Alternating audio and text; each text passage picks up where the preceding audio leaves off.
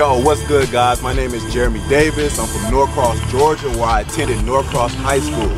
My senior year, I had 40 catches, 705 yards, and nine touchdowns.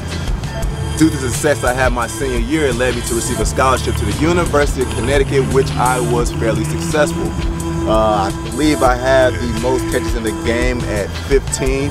Uh, I was the first 1,000 yard receiver since becoming an FBS program, and throughout all that and the success I had, I was drafted in the sixth round by the New York Giants. And despite all that, I, Geremy, was a bubble guy. Now, just because you're a bubble guy doesn't mean that it's over for you. I mean, the kid, I got six years in the league. Find a way to make it work. Write your own story. With guys like myself who are bubble guys, we have to put in a lot more work than the established guy or the superstar to hang around. So you know I gotta throw you some scripture, man. We're gonna go to Galatians 6, 7. It says, whatever one sows, that will he also reap. So we already know that we're bubble guys, man. So we're by the by definition, we have to sow way more if we want to see fruits be reaped. Now don't get me wrong, man. Sometimes we sow like crazy and we don't see the fruits that we want to see, man. Unfortunately, we put in all this work and we might still get put on practice squad or we might be inactive that week. Or sometimes we become free agents for months before we sign again.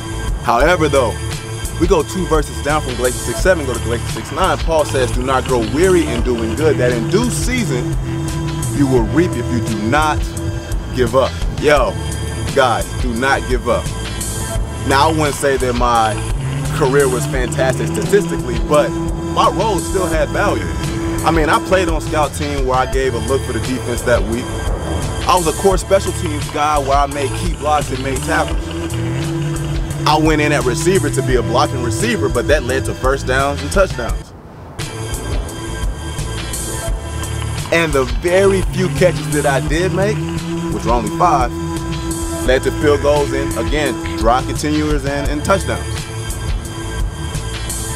And even with just that, it led to six years in the NFL, which I'm for sure grateful for. So throughout this training camp and preseason games, guys, continue to sow like crazy. And I encourage, man, if you're a superstar or a bubble guy, wherever you are, share this message, man, to encourage. I'm out.